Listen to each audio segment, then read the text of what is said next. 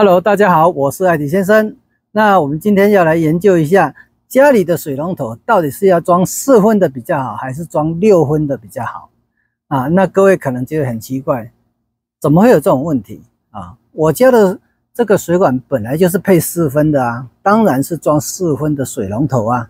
啊，其实不尽然哈。我们来看一下好了啊，像我们一般来讲，这个龙口湾哈这边啊是四分的。这孔径还蛮大的哦，啊，那这个四分的，讲实在话，它孔径也蛮大的。这锁上去呢，刚刚好，四分配四分啊。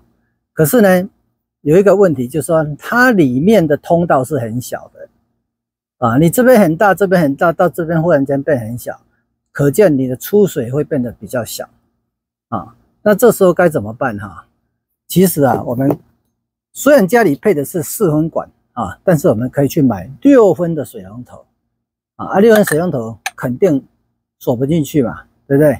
那没关系，你可以去买一个这个四分啊，这边是六分内压的啊，四分外压的，这边是六分内压的啊，你将它先锁到这个上面，啊，将这个水龙头啊缩成四分牙，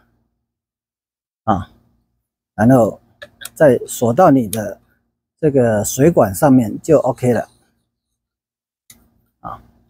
那由于这个构造啊，它是六分的，所以里面的一些呃结构哈，一些开口啊，都比四分的大上许多哈。因为它本体本来就比较大，所以才能使用比较大的通道啊。尤其是我们在浇花的时候啊，特别需要大水量啊，那用这种六分的啊是比较适合的。